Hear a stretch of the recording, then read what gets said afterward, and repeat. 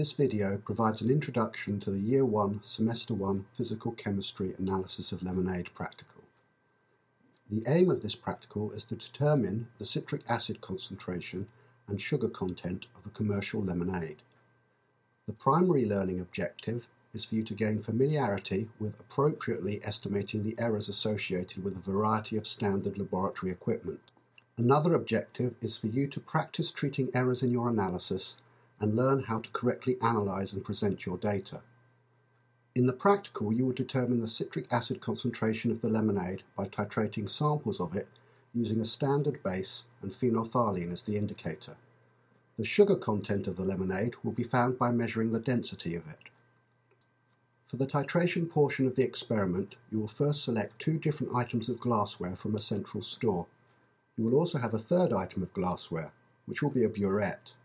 Then, for each item of glassware, you will use an autopipette, make sure you have watched the autopipetta video, to add a known volume of lemonade to the glassware.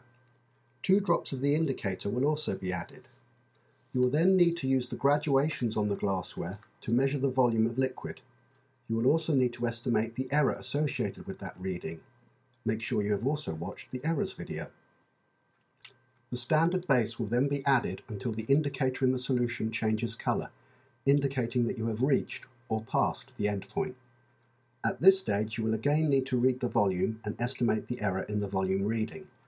These two results will enable you to determine the volume of base that has been added along with the associated error. To find the density of the lemonade, you will first need to measure out a specific volume of lemonade. Again, the error in this volume will need to be estimated. This measured volume will then be weighed and the error associated with the balance used also recorded. The density of the lemonade, with its associated error, can then easily be determined since it will be equal to the mass of the lemonade sample divided by the volume of that sample. When analysing your data, you will need to use the stoichiometric reaction between citric acid and sodium hydroxide, which has been given to you in the lab manual. Using this, and knowing the volume of acid used, the concentration of the base, and volume of base required, you will be able to calculate the concentration of citric acid along with its associated error.